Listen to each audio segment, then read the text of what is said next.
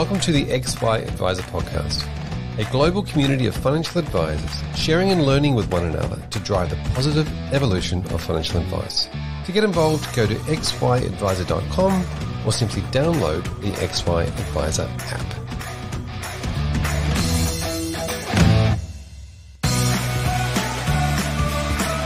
Portfolio construction and risk management are tasks that take you away from where you need to be, building relationships with your clients.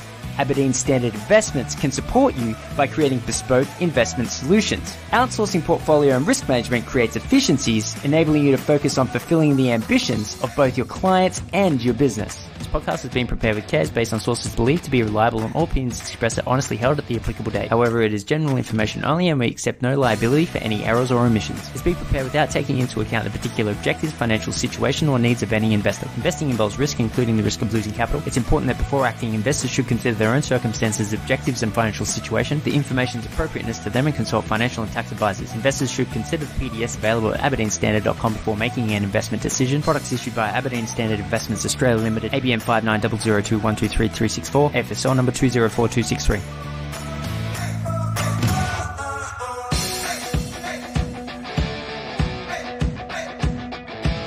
Welcome to the XY Adviser podcast. I'm your host, Fraser Jack, and today I am joined by the CEO of what is considered the fastest growing wealth tech company in Australia. Welcome, David. Hi, Fraser. Or should, I, a, or should I say kia ora?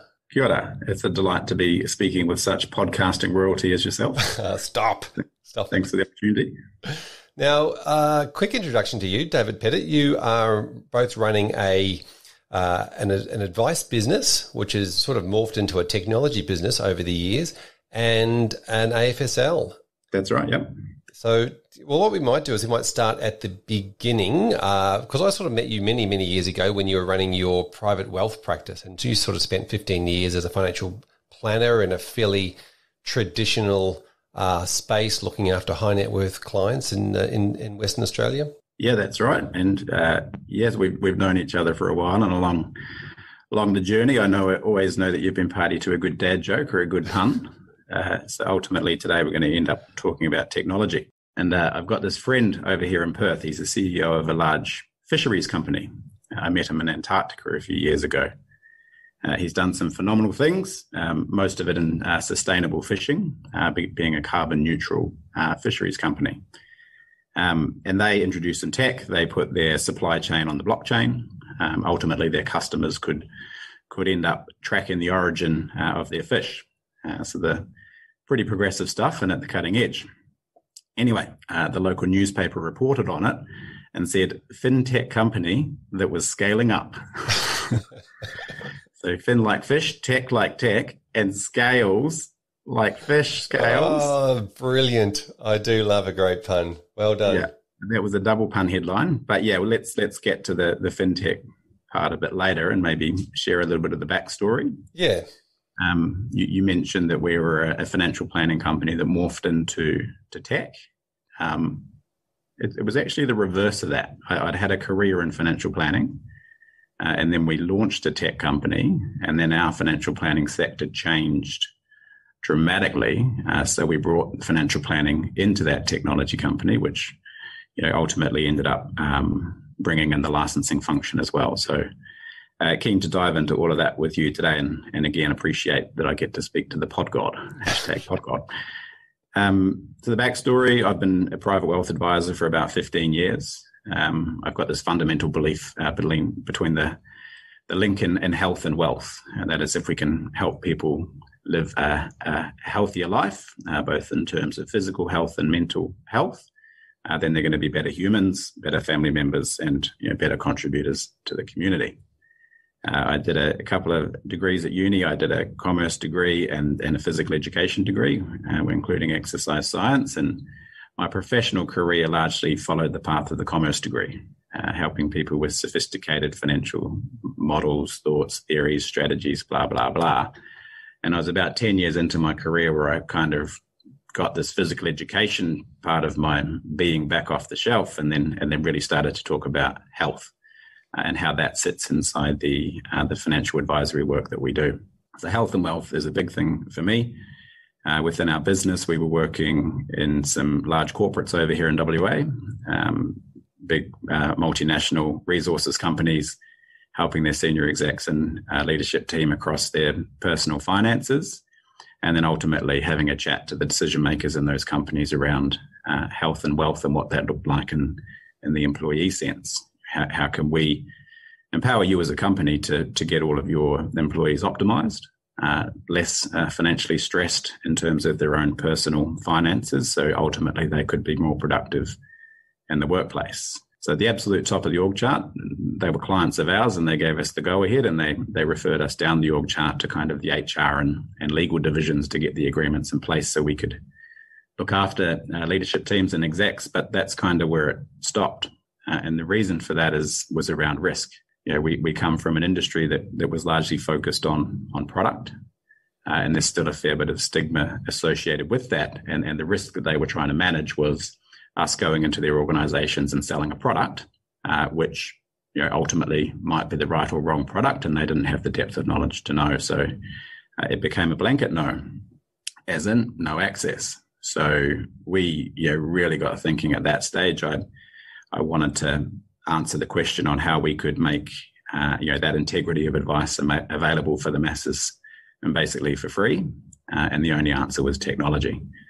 So the the next discussion we had with those corporates was if we came in with some uh, technology that allowed people to basically diagnose their financial positions, uh, ascertain what their financial wellness was, and then you know work on creating a positive change uh, effectively from bad or slightly good score uh, to better or good score, then would that be something that would be of, of interest?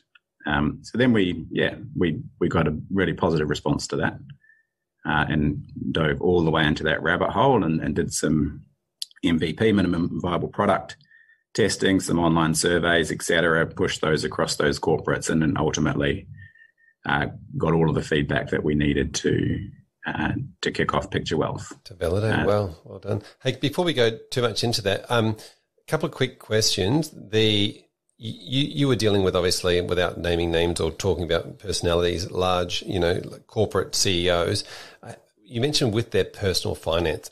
I mean, obviously, um, we all know, uh, you know, having spoken to a lot of people, that just because somebody's earning a lot of money or they're a senior executive or they're running a company or they might be a CFO for a large company, that their personal stuff may still be in a mess. Is that is that sort of what you found? It was the plumber with a leaky tap. Exactly. So we had the CFO at our boardroom table, and part of that testing as well was also to push out a research paper around. Uh, it was called "The Consequences of Personal Financial Organization." Now, apparently, for a book to become an Amazon bestseller, it needs to be how to get six pack abs, or you know, better better sex, or eat more, lose weight, something like that. And uh, the the consequences of personal financial organization didn't fly, fly off the shelf. Maybe get rich quick's the other one. Uh, but anyway, the purpose of that research was to kind of let those CFO profiles know that it's okay uh, and that you're not alone. You are the plumber, you've got the leaky taps, but so do all of your uh, your colleagues, your associates, and other people who hold uh, similar roles within organizations as you. You know, you're managing multi-billion dollar balance sheets and at home uh, things are an absolute mess. So having the the backstory on um, the research and the data, and you could really you know bring down those walls very very quickly in the first five minutes of a meeting. And, and can you just run through the research that you did in the, in that space and how you went about it? Yep. I think it was brilliant, by the way. Thank you. Uh, we partnered with the Australian Institute of Management and we uh, went across execs and senior leaders in business uh, across WA and asked a whole heap of questions uh, in in relation to to wealth, uh, but not many of them uh, were related to dollars and cents. Uh, it was more related to feeling, emotion, wellness, use of time, uh, and you know on a on a spectrum, where do you sit across all facets of wealth, super investment, debt, estate planning yada yada. And um, yeah, we, we found out every everything that we, we probably innately knew.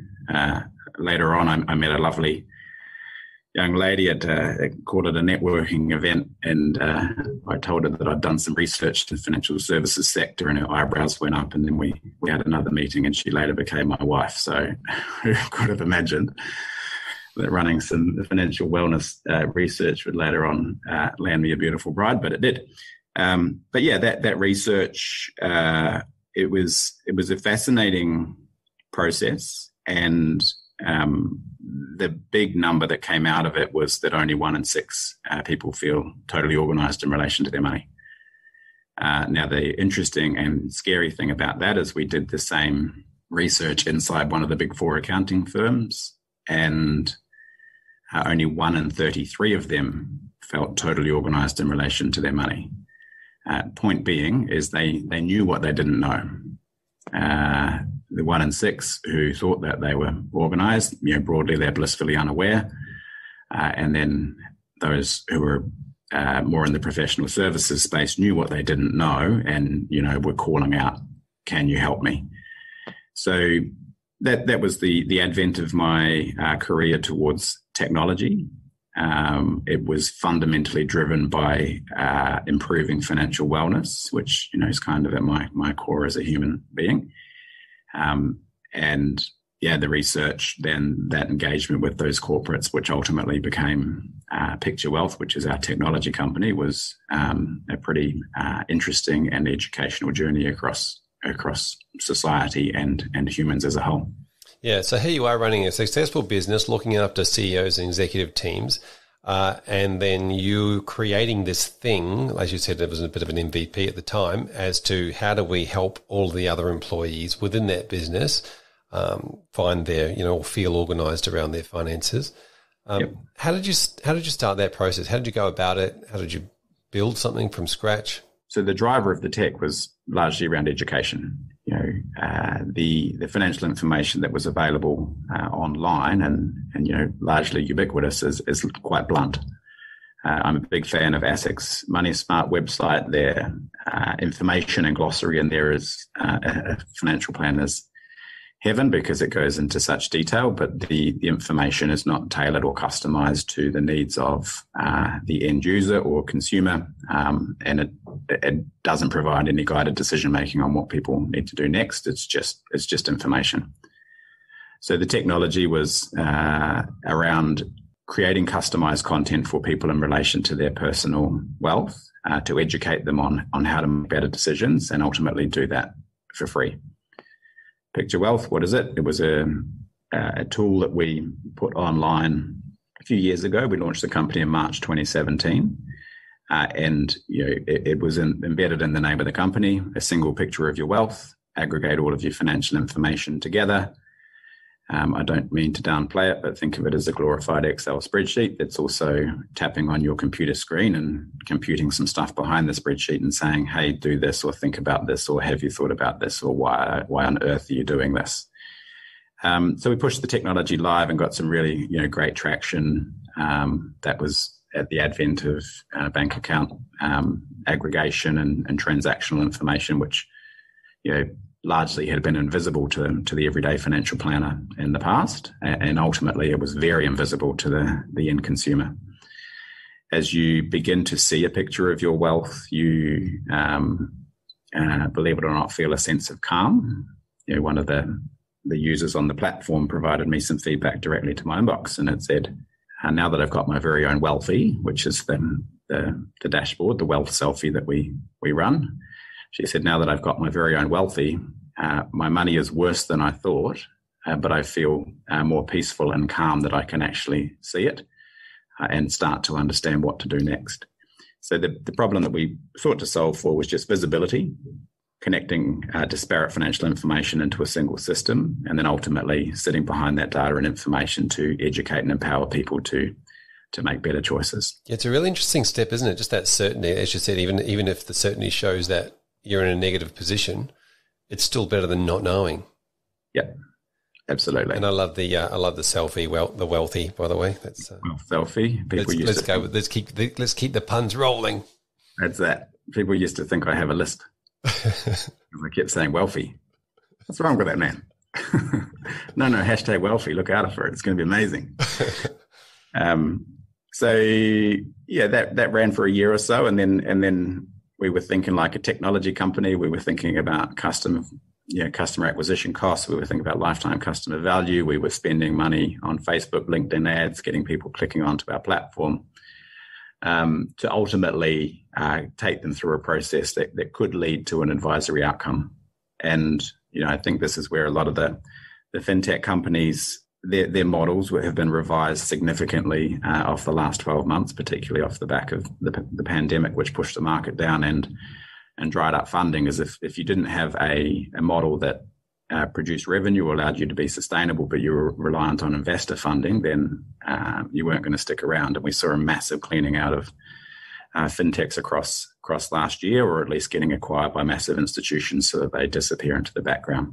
Point being is that that really high cost of client acquisition uh, in the robo advisory space, as it was was known earlier, or uh, in the fintech arena, um, is is pushing people, or ideally pulling people towards a product outcome uh, and the products have to move towards free. Uh, so therefore, the financial model of those businesses uh, becomes somewhat questionable.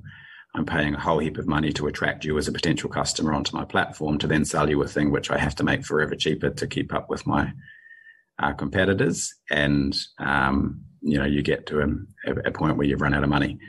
So we were looking at that customer acquisition cost in the business, creating great outcomes for people on the platform. But then, you know, I kind of leveraged back off some of my financial planning knowledge and, and professional experience and mergers and acquisitions and, and looked at what FASEA meant uh, to the future of our industry.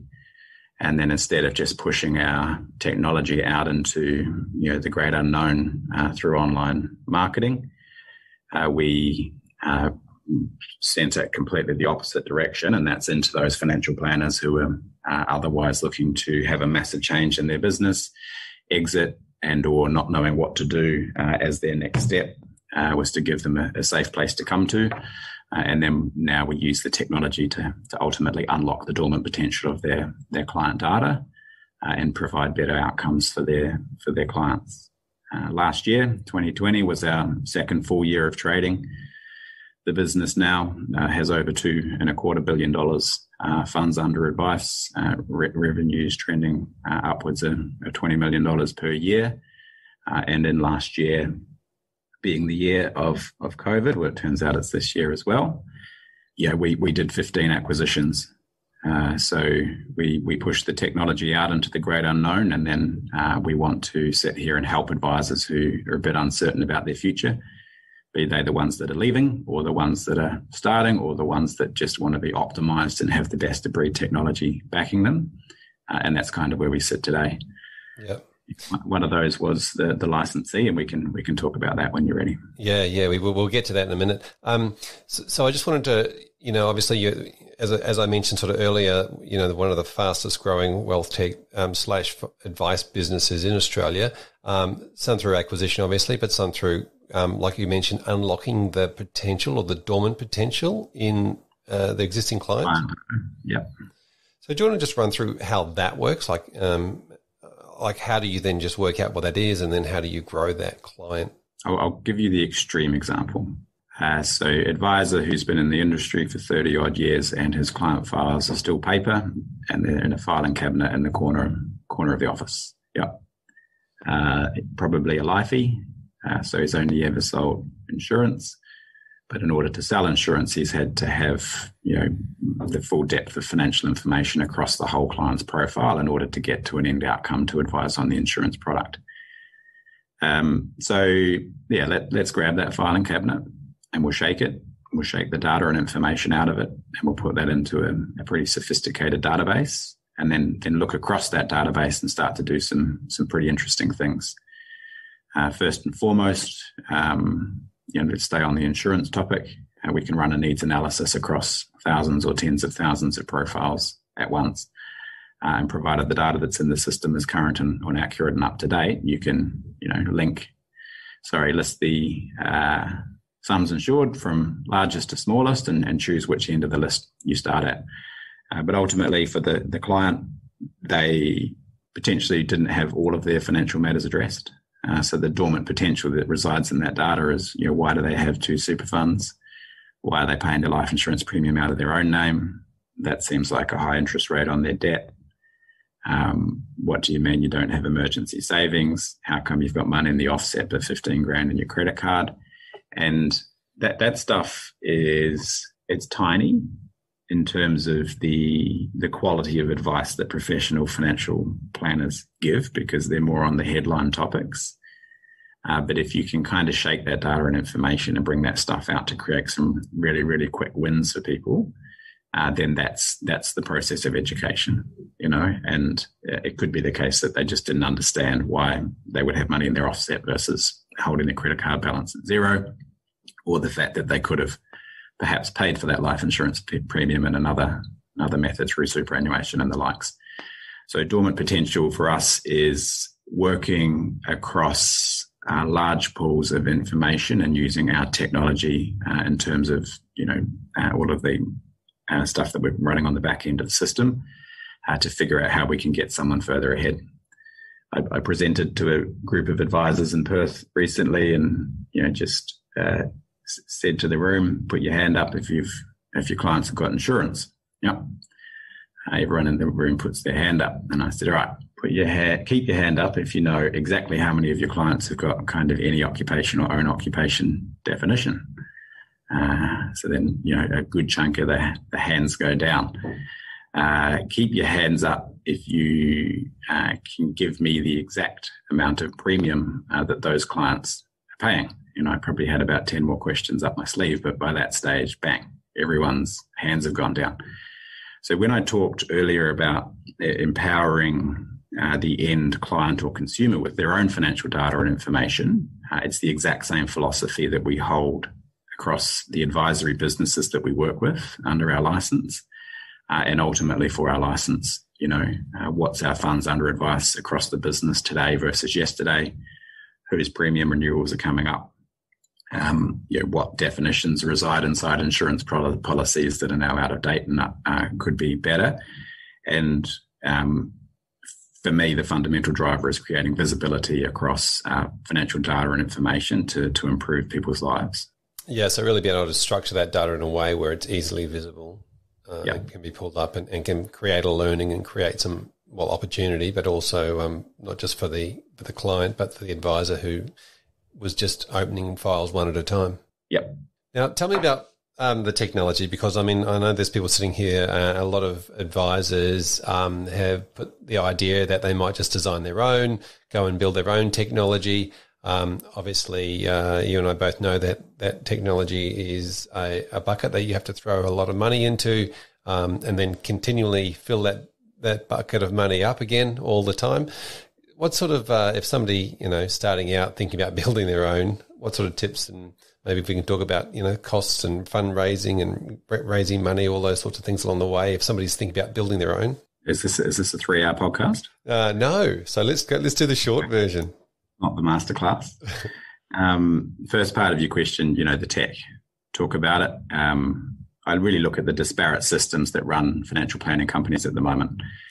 You're probably running a Microsoft suite, maybe Dropbox. You've got uh, a CRM of some description. You've got a, a, revenue tracking tool, which may or may not be accurate. Uh, you've got some quoting software. You've got probably some level of business intelligence, maybe Microsoft BI running across the business. You've got some stuff uh, running through through Mailchimp, and uh, you know fundamentally all of those things are what running a financial planning looks, our business looks and feels like. The stack, um, the, stack, right? Yep.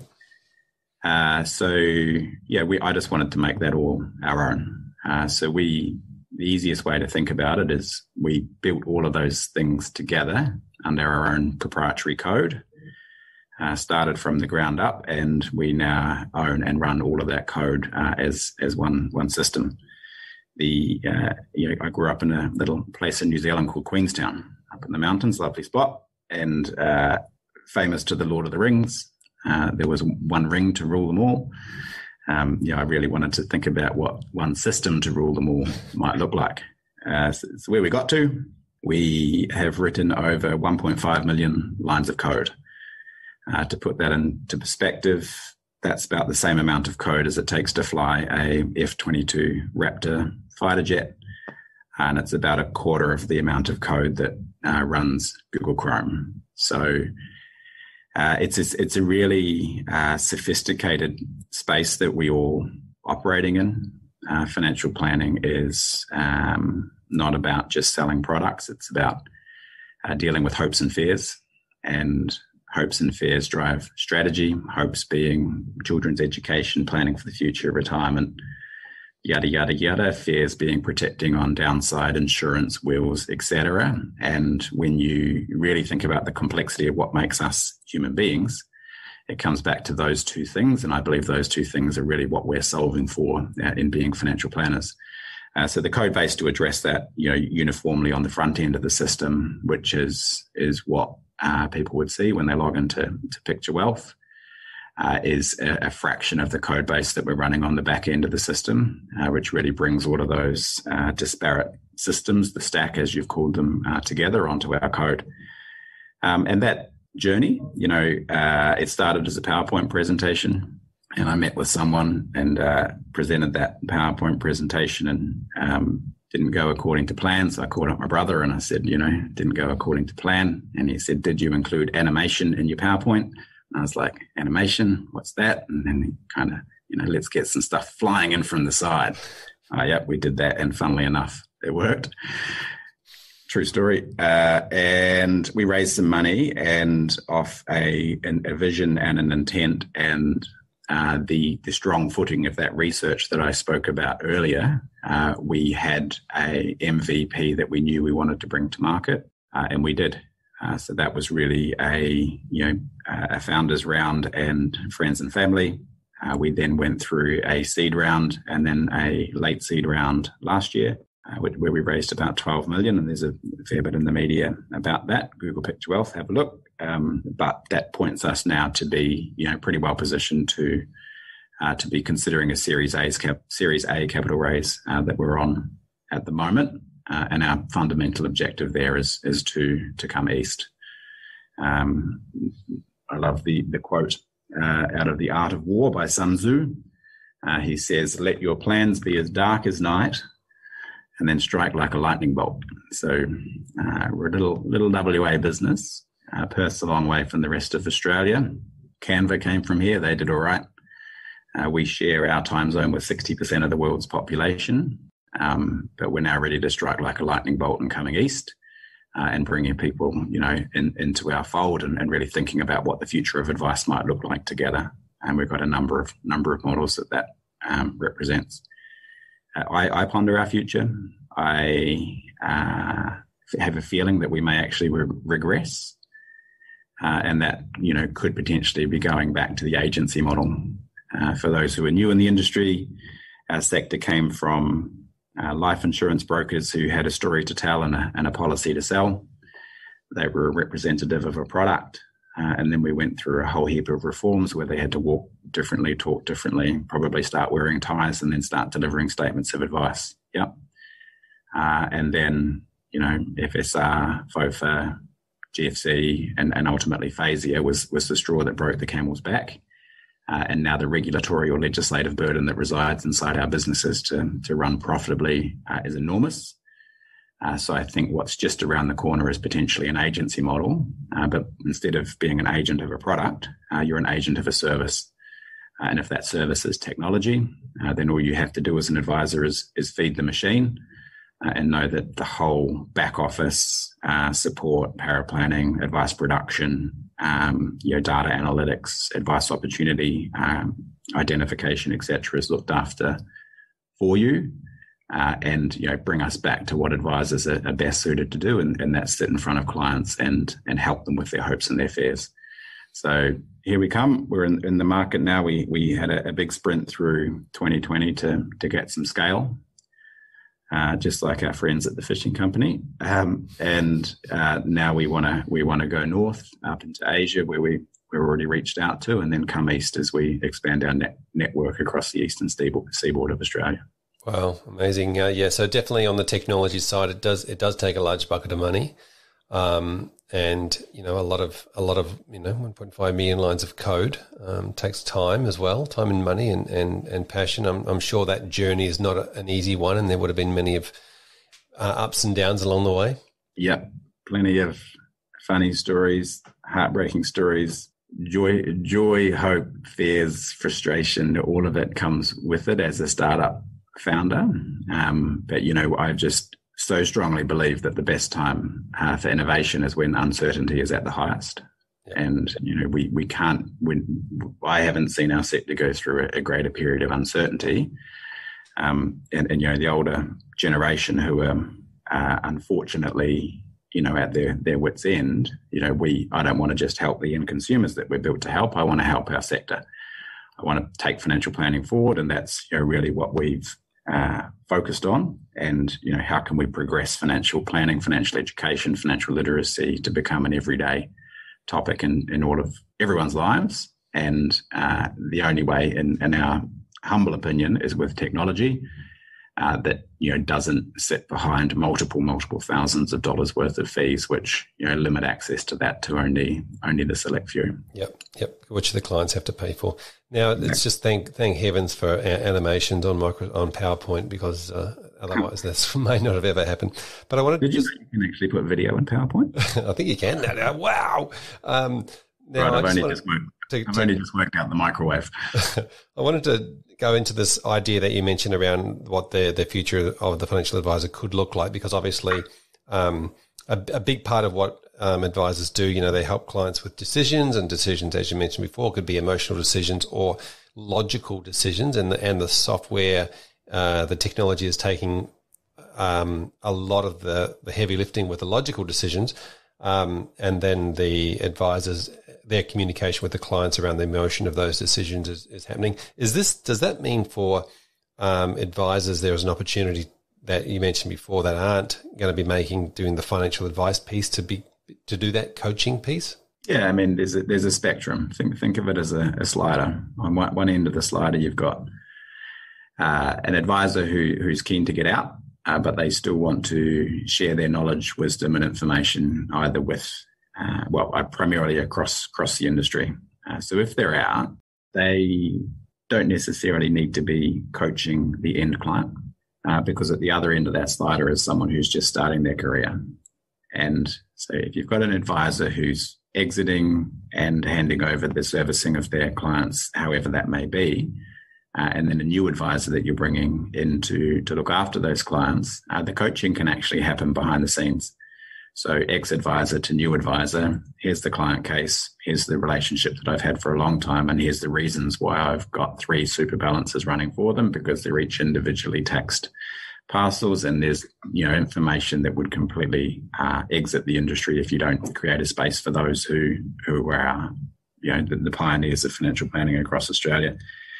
Um, and in terms of how what the slider looks like for the people that could in, interact with us, it's a different one. You've got completely independent on the, the left hand side, although you're working with our licensing.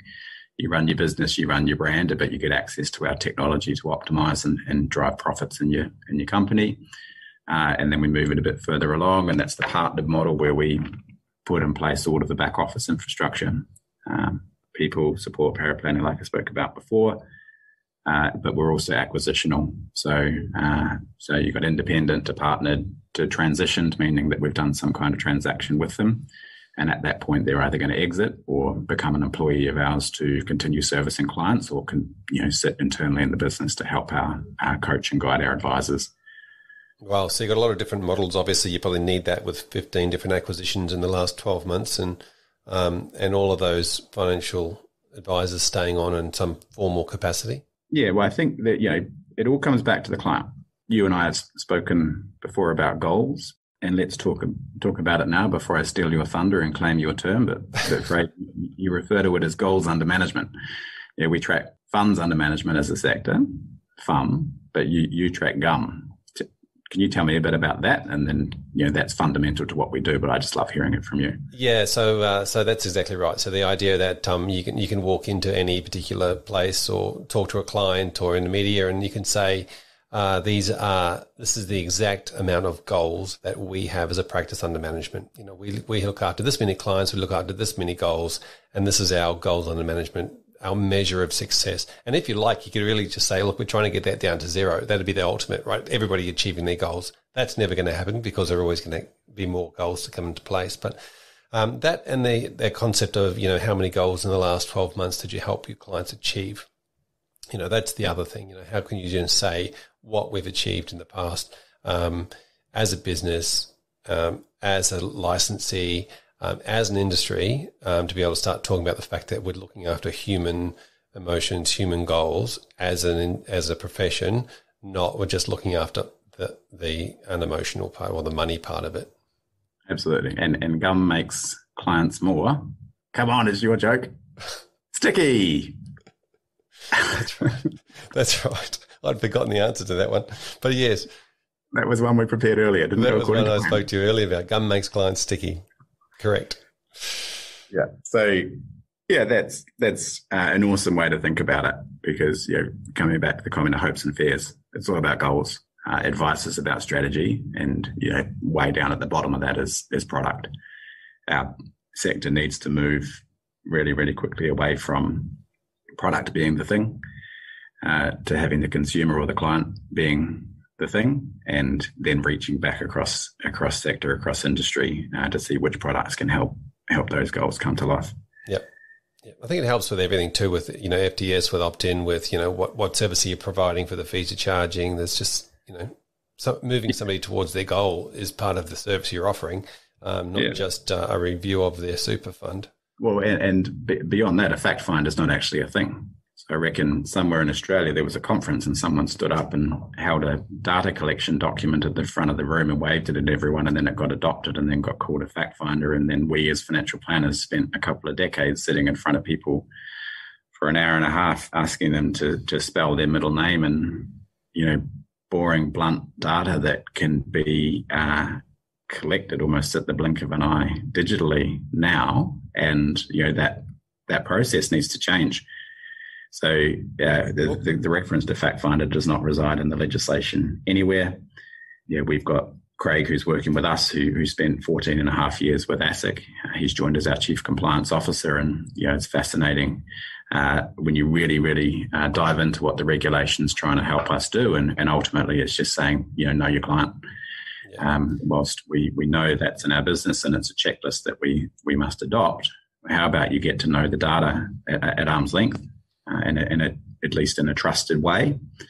Um, but get to know your client at a, at a human level and, and, dive into their goals and objectives and their, you know, what's scoped in, what's scoped out, and do we have consent to provide you across the areas that we think should be scoped in that you potentially don't? Yeah. I think you need advice on, and you know that's that's the future of our sector. Yeah. I think FactFind actually was around before um, financial services reform um, kicked in in 2001, 2002, um, because it used to be the information that you would put in the old customer advice record before uh, we had SOAs. Yeah. yeah. It's a sort of a hangover from a previous regime, if you like. Yeah. So, you know, what, what do you, what do you care about? What does success look like? Yep. Who's, who's important to you? Yep. Exactly. Blah, blah, blah. Now, I want to talk. Yep. I want to talk about the concept that um, during your acquisitions and process uh, in the last couple of years, you ended up with acquiring a licensee. We did.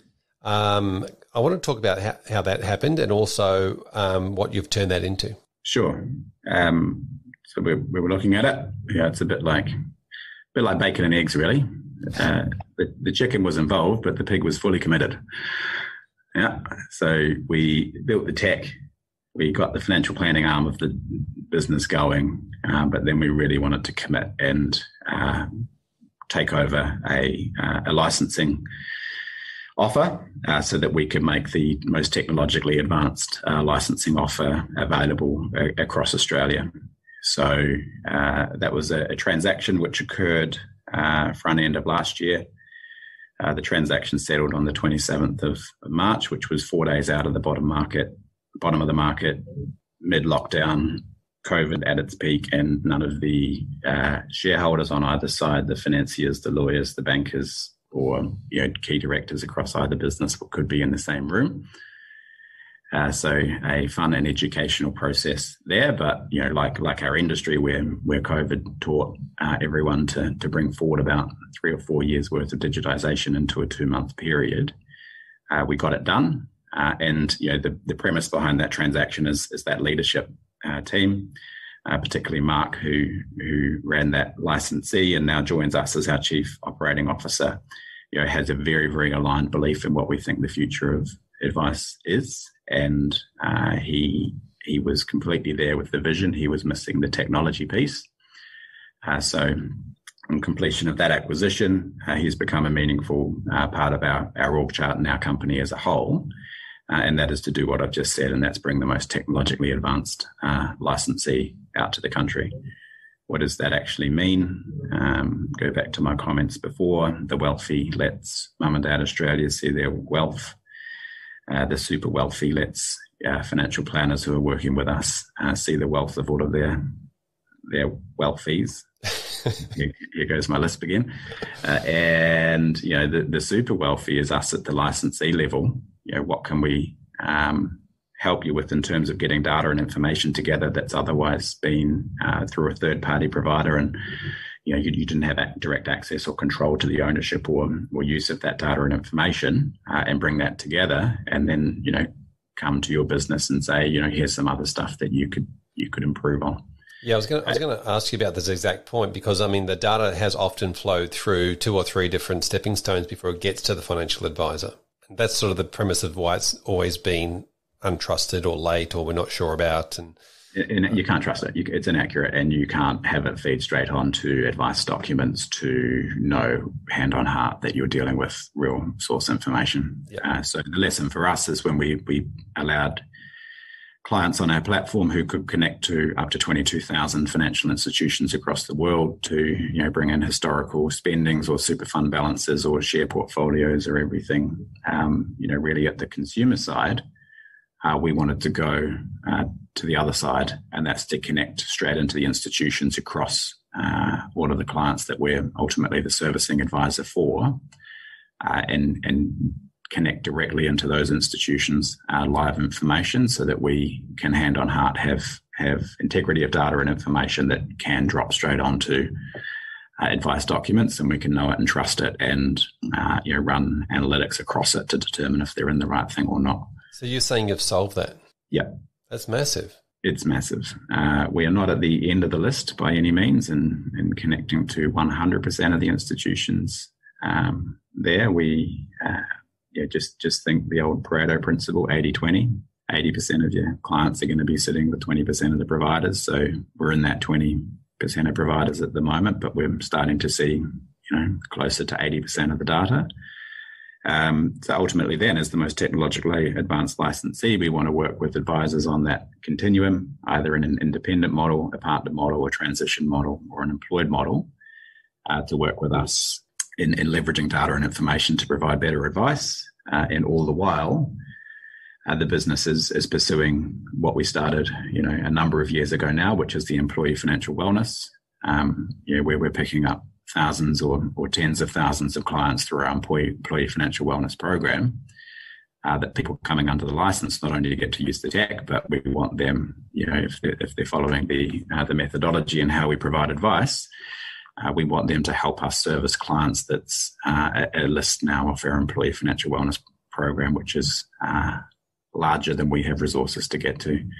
So that that's kind of where we sit, mate. The uh, the lightning bolts hit, We we're in market. We we spent the time and energy, um, you know, quietly confident that we we have a solution for the future. Uh, we're here now with that solution, and you know we we'll uh, bring some marketing and and uh, presence across east. Uh, we do have an office in Sydney, Melbourne, Adelaide, as it stands, with people on the ground there. But we really want to uh, scale up uh, for the purpose of of getting to you know the ninety four percent of Australia that uh, it, it, remains unadvised. I made that statistic up, by the way. Um, I reckon that might be about right 80 20, and then 80 20 of the ones that are advised because a good chunk of them aren't. And Yeah, it's an, it's an, it's an interesting one. That um, well, is it an ongoing fee relationship? Is it a you know is it a one piece of advice, one off, one time? You know, it's very difficult to sort of say. But I think um, I've got a bit of a saying that ten percent of any market will pay ten times the price because it's, it's prestige, and often the financial advice, the way it's it is at the moment, is that prestige end of the market. It's the it's the first class airlines and Prada handbags of of the industry. Yeah, exactly. Uh, and with with Craig's depths of knowledge from the regulator, you know, we uh, bring that into the tech. Think karaoke, follow the bouncing ball as you sing along. Uh, the, the, technology wants to guide you and your client through a, a systemized, uh, think of a process production line or, or a you know assembly line almost, where you know what you need to do next, so that you're compliant, you're meeting the regulatory requirements, but ultimately your client is getting frequent touch points along that uh, production line uh, to get to be in an ongoing serviced relationship, probably annually renewable, uh, because we know that's just around the corner. And um, yeah. No, well, all these little stepping stones, the bouncing ball, I can just visualize at the end of the song. There's the financial advisor standing there going, well, what can we do next? Yeah, jazz hands. What's the jazz hands? Sure, that's exactly the visual I'm getting. Um, so tell us about, uh, um, you know, two, you know, two and a bit years now in as you as you're going. How, how how many clients have you got, or how many you know clients you're looking after with that the, the PictureWealth with the wealth wealthy uh, and uh, and advised clients? Yeah, there's forty thousand clients across the business now, um, which is which is pretty quick growth. You know, we're now at the well, we're at the point where we're aiming to get the technology into 100% of their hands. Uh, we're not there yet. Um, and you know we are talking to prospective investors in the company at the moment and again there's there's a, a, deep topic here which we could go all the way into but you know we could have gone deep tech and building some ai widget toy thing which people would have plowed money into which it ultimately wouldn't have made money but it would have solved a problem but we went at it from the other end, and that's get to scale first. Uh, so we've got a, a, pipeline ahead of us, which will take us out to about 150% of the, the clients that we have at the moment, around about 100,000 clients uh, across the business, uh, and where we deploy the technology across those, and then we go deep. You know, once the data and information's there, then you've got the balance sheet and the P&L to go deeper on the tech and bring the AIs and the robots uh, and the machine learning uh, to the to the next level from what we've done already you, you also start to see a different shape of your your P and L. Uh, see profit and loss statement. You uh, see new income lines coming in, uh, where those income lines are related to software as a service, uh, as opposed to um, financial planning advisory services, which also equal FDS and opt in.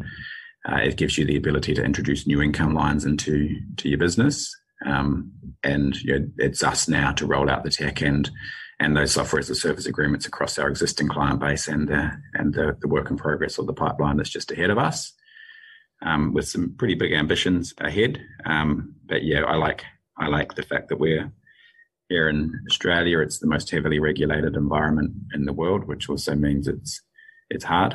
But if you can solve it, then as you globalize, it's really just about de- decreasing complexity uh, and knowing at the core of the business you're still dealing with the, the same fundamental uh, problem or opportunity, and that's just uh, helping people. I'm not sure if that answers your question. That pretty much does. I'm I'm I'm blown away, and I and you know you know heading towards hundred thousand clients in only you know a few short years is is pretty incredible and certainly goes to show what is possible and uh, smashing a few glass ceilings on the way through. Congratulations. Now, if somebody wants to continue the conversation, what's the best way they can, you know, get hold of you and, you know, talk about licensing or, or anything today? yeah, about? I mean, you'll, you'll find me on LinkedIn. I love uh, to communicate. We're, we're here to help. If you're in the industry and you want to stick around, we're here to help. If you want to get out, we're here to help uh, and or you can just ping us through our website or uh, on on email, which is info at picturewealth.com, info at picturewealth.com, and reach out. Um, I'm yeah a phone call away. I want to talk to people. I want uh, some momentum. I want to you know fundamentally help the advice community to do what we're all setting out to do, uh, somewhat in a a disjointed manner uh, historically and, in a more cohesive manner as we go forward and, and, really lean into the fundamentals of probably everyone who's listening to this podcast. And that is how can we all learn from each other and uh, create better outcomes for consumers. So uh, I absolutely invite people to reach out, whatever the, the topic may be. Wonderful. Thank you, David Pettit. Really appreciate uh, sharing your story with us, and I really look forward to seeing how this uh, pans out over the next couple of years. I'm, I'm excited for you. Thanks, Fraser. I greatly appreciate it. Well, there you have it. Another episode of the XY Adviser podcast. Uh, Fraser Jack here, joined with me, Emily Blanche. Hey, Fraser, how are you? I'm fantastic, and a fantastic moment where we get to do some shout outs. Like I say, my favorite time of the week. All right, so today I want to give a massive shout out to XY Advisor Thomas Lyon he uh, reached out to XY, in particular through XY Plus, when he was looking to join a new uh, practice when he moved interstate from Brisbane to Sydney. And the reason I want to give him a shout out is because he sent the most amazing message through earlier this week, and I want to quickly read it out. It's, he said, super grateful that I found XY. I first joined and was using it, or sorry, I first joined uh, when I started out as an undergraduate in financial planning, and it gave me my first insights into the type of people that financial advisors are and what day to day looks like as a career. Recently, I reached out to the guys at XY during my move into state, and Emily put me in contact with the person who is now my new employer.